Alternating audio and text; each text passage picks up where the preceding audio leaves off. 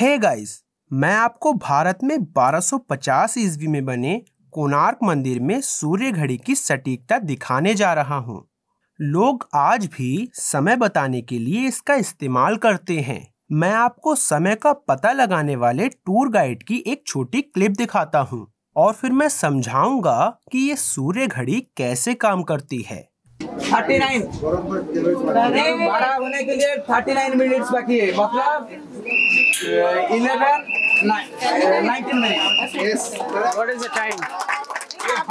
जैसा कि आप देख सकते हैं सूर्य घड़ी काफ़ी सटीक है और लोग इससे चकित हैं। आइए करीब से देखें कि ये कैसे काम करता है। सूर्य घड़ी में आठ प्रमुख तीलियाँ होती हैं जो 24 घंटों को आठ बराबर भागों में विभाजित करती हैं। जिसका अर्थ है कि दो प्रमुख तीलियों के बीच का समय तीन घंटे है। आठ छोटी तीलियाँ भी हैं। प्रत्येक छोटी तीली दो प्रमुख तीलियों के ठीक बीच में चलती है। इसका मतलब है कि छोटी तीलियाँ तीन घंटे को आधे में बांटती हैं। इसलिए एक प्रमुख तीली और छोटी तीली के बीच का समय डेढ़ घंटा या नब्बे मिनट का होता है। अब पहिए के किनारे पर आप बहुत सारे मनके देख सकते हैं। यदि आप ध्यान से देखें तो आप देख सकते हैं कि एक छोटी और एक प्रमुख तीली के बीच में तीस मनके होते हैं। तो नब्बे मिनट को आगे तीस मनकों से विभाजित किया जाता है। इसका मतलब है कि प्रत्येक मन का तीन मिनट को प्रस्तुत करता है। मनके काफ़ी बड़े हैं, इसलिए आप यह भी देख सकते हैं कि छाया मनके के केंद्र में या मनके के किसी एक छोर पर पड़ती है। इस तरह हम समय की मिनट तक सटीक गणना कर सकते हैं। सूर्य घड़ी घड़ी की विपरीत दिशा में समय दिखाती है। सबसे ऊपर प्रमुख तीली मध्य रात्रि के लिए है और यह तीली तीन बजे के लिए है और यह छह बजे के लिए है और आगे इसी तरह। जब मैं धुरी में जानवर की पूंछ पर एक उंगली या कलम रखता हूँ तो छाया पहिए के किनारे पर जाएगी। अब मैं केवल उस मनके को देखता हूँ जहाँ छाया पड़ती है। हमने पहले जो गणित किया था, उसका उपयोग करके मैं आसानी से वर्तमान समय को ठीक से मिनट तक बता सकता हूँ। 750 साल पहले ऐसा कुछ बनाने के लिए खगोलविदों, इंजीनियरों और मूर्तिकारों के बीच कितना समय और समन्वय हुआ होगा? अब अगर आप गौर से देख रहे हैं तो अभी आपके मन में दो सवाल होंगे। पहला सवाल यह होगा कि जब सूर्य पूर्व से पश्चिम की ओर बढ़ता है तो क्या होता है?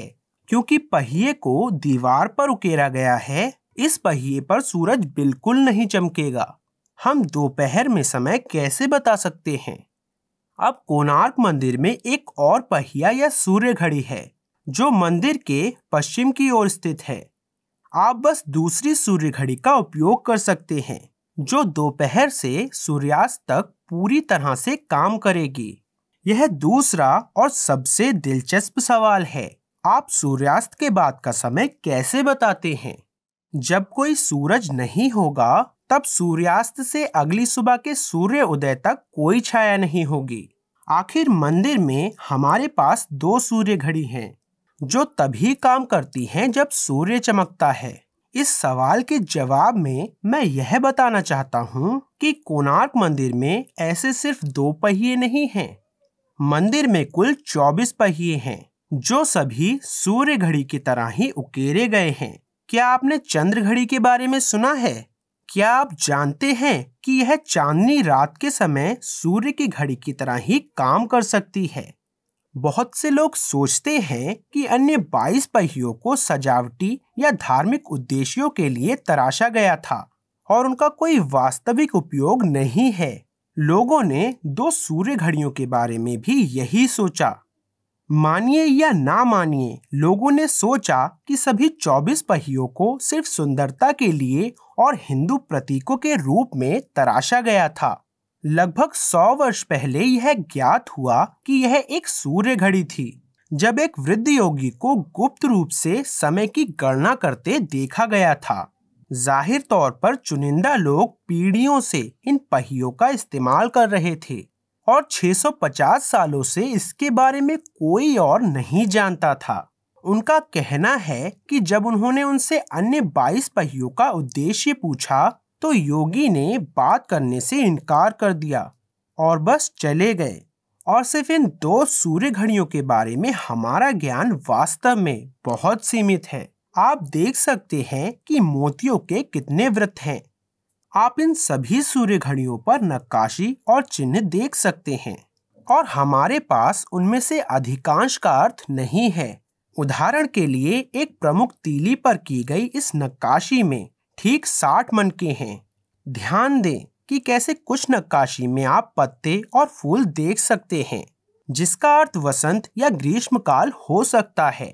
ध्यान दें कि कैसे कुछ नक्काशियों में आप लीमर्स को संभोग करते हुए देख सकते हैं, जो केवल सर्दियों के दौरान होता है। इसलिए इन सूर्य घड़ियों को विभिन्न प्रकार की चीज़ों के लिए पंचांग के रूप में भी इस्तेमाल किया जा सकता था।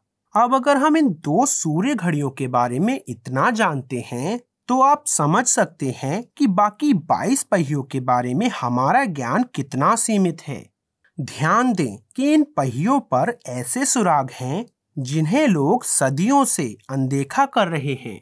ध्यान दें कि एक महिला सुबह कैसे उठती है और शीशे को देखती है। ध्यान दें कि वे कैसे स्ट्रेचिंग कर रही है। थकी हुई है और सोने के लिए तैयार है। और आप यह भी देख सकते हैं कि वह रात में यौन क्रिया में लिप्त है। सदियों से लोगों ने इन संकेतों को नजरअंदाज किया है और सोचा है कि ये हिंदू देवी देवताओं की नक्काशी है। यह इस बात का भी एक आदर्श उदाहरण है कि लोग कैसे सोचते हैं कि प्राचीन नक्काशी सिर्फ़ सुंदरता या धार्मिक उद्देश्यों के लिए है। यदि प्राचीन लोगों ने कुछ बनाने में बहुत समय बिताया तो इस बात की बहुत अच्छी संभावना है कि यह एक मूल्यवान वैज्ञानिक उद्देश्य के लिए किया गया था। वीडियो देखने के लिए बहुत बहुत धन्यवाद। सब्सक्राइब करना ना भूलें और सभी अपडेट्स पाने के लिए घंटी के बटन को भी क्लिक करें। कृपया इस वीडियो को लाइक करें और मैं आपसे जल्द ही बात करूँगा। बाय।